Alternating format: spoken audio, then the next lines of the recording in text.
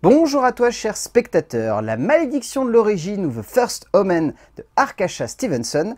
Bah, J'avoue que sur le papier, je me demandais qu'est-ce que c'était que ce truc.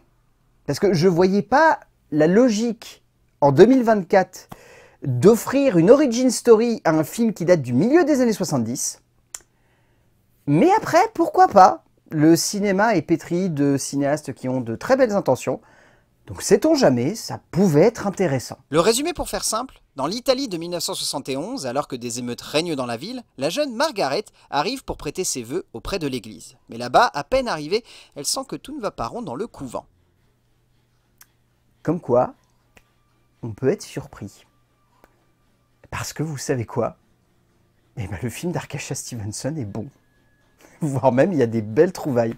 Alors je suis le premier à être sur le cul parce que moi dans ma tête, vous me vendez un film qui s'appelle La malédiction de l'origine, mais je suis persuadé que c'est un nanar, hein. un gros nanar. hein. Surtout quand on voit que, si je me plante pas, la précédente euh, mise en scène de ce film au cinéma, c'était par, euh, c'était par John Moore, si j'ai bonne mémoire. Enfin, c'était une grosse daube, hein, euh, on va pas se mentir. Donc du coup, voir une cinéaste qui sort un peu de nulle part en plus, s'emparer de ce film et proposer quelque chose qui est vraiment cool, bah ça marche. Ça marche et vraiment, j'ai beaucoup aimé La Malédiction l'origine. Et je trouve que par beaucoup d'aspects, il est ce qu'aurait pu être Immaculé il y a quelques semaines. C'est les mêmes histoires quasiment, trait pour trait. Sauf que La Malédiction l'origine est très créatif, particulièrement juste, a un bon contexte, a un bon développement de personnage, prend son temps, parce que mine de rien, quand j'ai vu les deux heures, je me suis dit ça va avoir aucun intérêt, ça va être long comme c'est pas permis. Et ben on les voit pas passer les deux heures et en plus c'est vraiment prenant.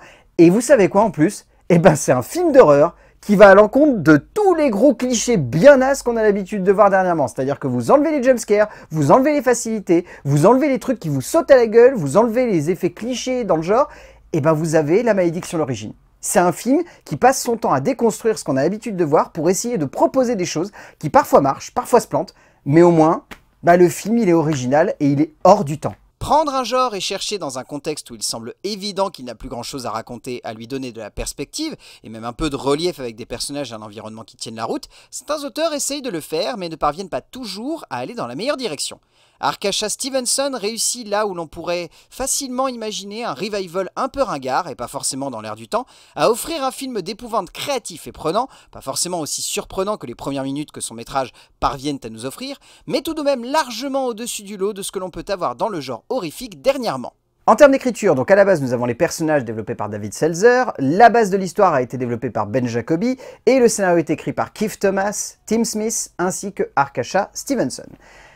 L'écriture en soi, je la trouve bonne parce que elle repose sur cette idée que le spectateur va avoir plein d'éléments à sa disposition pour essayer de recontextualiser ensemble. Par beaucoup de points, mais de manière beaucoup plus grand public, j'ai trouvé que la manière avec laquelle l'univers était posé et les personnages me faisaient beaucoup penser au Suspiria de Luca Guadagnino. Dans ce sens où on a un contexte, on a un début, on a une belle prémisse, on a un placement de perso, et tout ça, en fait, va amener la situation principale qui n'arrive qu'au bout de une demi-heure, trois quarts d'heure. C'est-à-dire que c'est au bout d'une demi-heure et trois quarts d'heure de film qu'on sait à peu près dans quel carcan vont se retrouver les personnages et quelle va être leur aventure.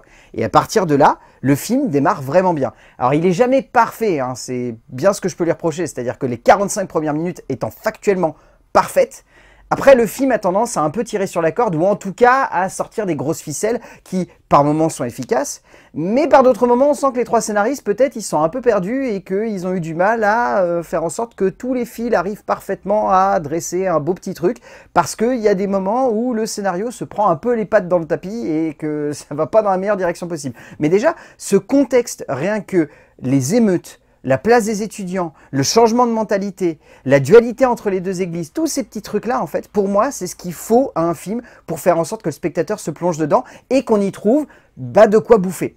Et personnellement, dans ce genre de scénar, bah, c'est ce que j'aime. C'est me dire que le réalisateur ou les auteurs se sont posé la question de lorsque je vais être face à ce film, est-ce que je vais avoir assez d'éléments pour non seulement suivre l'histoire, mais aussi pour être diverti et pour que ça soit prenant jusqu'à la fin. Stevenson, Thomas et Smith réussissent là où de nombreux auteurs ne parviennent même pas à construire le minimum syndical en développant correctement et justement un contexte et une envergure dramatique à un personnage qui ne devient pas simplement un bon moyen de faire frissonner avec des jumpscares.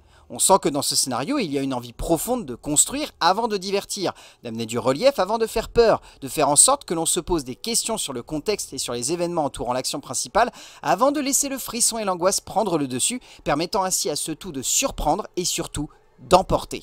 En termes de mise en scène, bah Stevenson, dont je crois elle a fait qu'un seul truc avant, et ben vraiment j'ai été surpris parce que dès les premières minutes, j'ai trouvé que c'était un film qui semblait très original. À partir du moment où l'un des premiers plans du film convoque Ne vous retournez pas, je me suis dit, ouh, on est sur une jeune réalisatrice qui a un bagou et qui s'y connaît en cinoche de genre et qui n'a pas envie de convoquer les mêmes modèles que ses, que ses aînés ou que ses pères.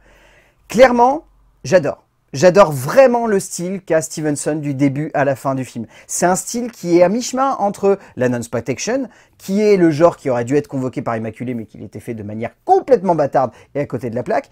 C'est un film qui arrive aussi à convoquer un peu de cinéma bis italien, par le biais d'utilisation de certains plans. C'est un film qui va convoquer aussi des grands classiques du genre euh, américain. Forcément, on pense à l'exorciste par le biais de plein de plans qui sont utilisés dans le film, mais pas que. Il y a clairement plein d'autres petits plans qui font penser à énormément de choses. Euh, j'ai pensé à Amityville, euh, il y a eu d'autres moments, bah, j'ai pensé forcément à La Malédiction, l'original.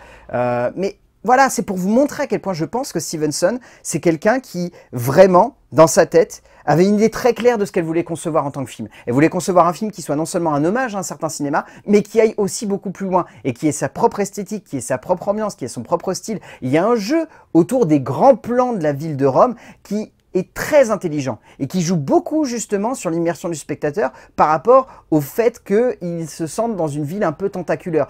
Et j'ai trouvé ça très bien fait. Et c'est qu'un petit élément pour vous montrer à quel point c'est une cinéaste qui, je pense, aura beaucoup de choses à nous prouver par la suite.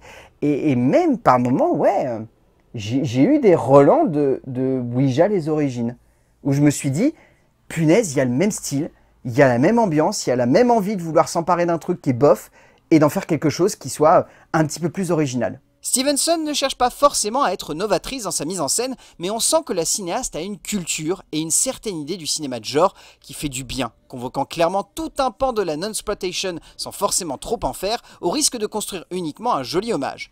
Cela passe par de petites idées de plan, par des envies de déconstruction de l'horreur à l'écran, par des jeux autour de l'esthétique globale du film qui donnent la sensation que même si l'ensemble sonne comme étant fait aujourd'hui, on ressort en se disant qu'il y a un certain savoir-faire et une certaine logique de création et de développement de la réalisation qui sonne comme universel. En termes de casting, j'ai trouvé celui-ci plutôt efficace. Euh, déjà, je trouve que Bill Nighy s'en sort pas trop mal. Pas non plus extraordinaire, mais il a un rôle qui est vraiment très tertiaire. Et pour le coup, il amène beaucoup de charisme à pas mal de scènes. Euh, Ralph Ineson, immense acteur. De toute façon, c'est un acteur que j'apprécie énormément, qui a une voix de dingue. Là, dans le film, il est vraiment bon. Dans les rôles plus tertiaires, on a Toufik Barom, on a Charles Dance également, qui a un petit rôle.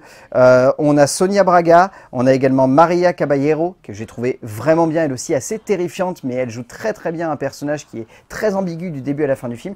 Mais vraiment, gros coup de cœur pour l'actrice principale, que j'ai l'impression de découvrir, et en même temps, je trouvais qu'elle avait un physique à la Ella Rumpf, je ne sais pas si vous voyez qui est la détentrice du César de la meilleure actrice euh, dernièrement, mais voilà.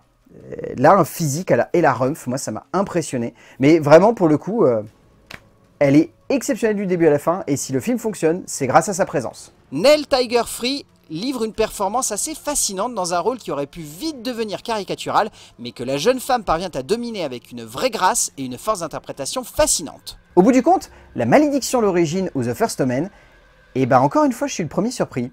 Mais c'est bien.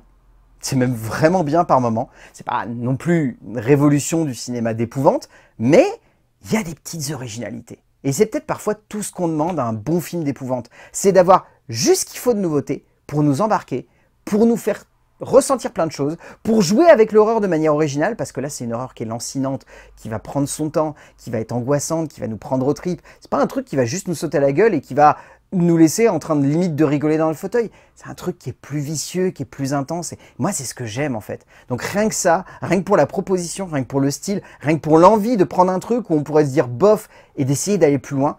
Et ben la malédiction, l'origine d'Arkasha Stevenson, si vous avez l'occasion de le voir en salle, bah allez-y. Je pense que vous allez passer un bon moment. Et franchement, je le redis, bien meilleur qu'Immaculé. A plus